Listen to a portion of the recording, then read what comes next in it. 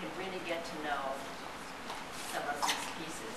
What we do is we make some careful accommodation for logistics and for the cognitive impairments that are occurring. Uh, we set up a very safe, quiet um, atmosphere that encourages a lot of focus and engagement. We use uh, communication techniques that are geared to uh, the way the brain is operating as it moves through uh, the progression of dementia. Well, we use the inquiry method, which was developed by the Museum of Modern Art. We take the time to really look at what the artist has put into the painting or the photo or the sculpture.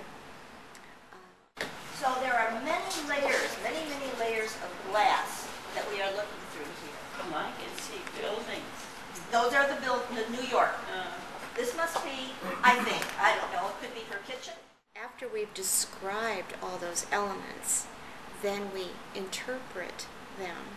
What does it mean? Uh, what time of year is this? What time of day? Where is the light coming from? How are the figures interacting? Uh, what emotions might that evoke? And then we go on to explore the meaning, connecting it to people's lives, uh, asking them, uh, people who have had full and rich lives, as family members, as people with careers, people who went to war, people who served others. Uh, they have all kinds of experiences to bring to the interpretation of the art. And that's what we're after is, is an interactive, discussion-based experience that it starts with the art because the art opens the door. I often wish artists could be a fly on the wall and listen to these conversations because we find the groups are very insightful and they often get right to the heart of the artistic purpose of the artwork. They get what the artist is trying to communicate.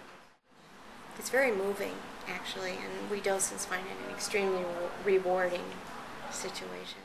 The population we're trying to reach now are people who are living at home, caregiver taking care of the person who's living with Alzheimer's or dementia, to give them an opportunity to, to do something meaningful outside the home because it can be such an isolating experience.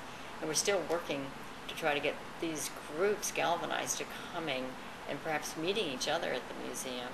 You know, to meet me at Kresge. The idea is that it's social and to have those people become repeat visitors.